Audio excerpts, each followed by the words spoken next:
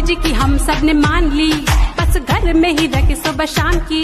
कुछ ज़्यादा तू उम्मीद मत रख कोरोना।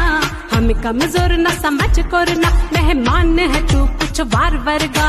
अपने हाथों को सैनिटाइज करते हैं। सैनिटाइजर है हथियार अपना।